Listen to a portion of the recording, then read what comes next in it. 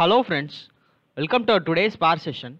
In this session, we will learn a new feature that is introduced in Databricks, which is nothing but a dark theme. We will see how we can enable this dark theme in a Databricks notebook in our demo. That being said, let us move on to today's demo. Let me sign in into my Databricks community account. You can also create your own account. It is free of cost.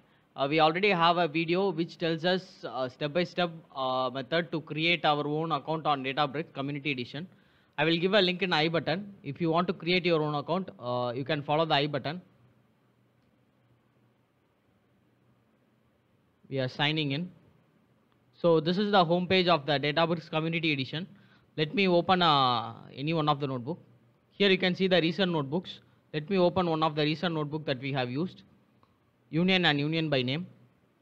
So this is basically a light theme that you can see by default. To enable a dark theme, here in this option you can see the third button which is something like picture. If you click on that, you will see a notebook theme and inside that you will have two options light theme and dark theme. Light theme is selected by default. You can change it to dark theme. So after clicking on a dark theme, you can see immediately the background changes to black and uh, this is a cool feature that has been introduced by the Databricks. The only disadvantage I could see in this feature is like if I give any comments, see here you can see I have given a comment but it is very light in color and also it is very difficult for us to recognize it. I hope this will be addressed soon by Databricks. Apart from this, this is a really cool feature that is introduced by Databricks which will be flexible and easy for the many of the developers.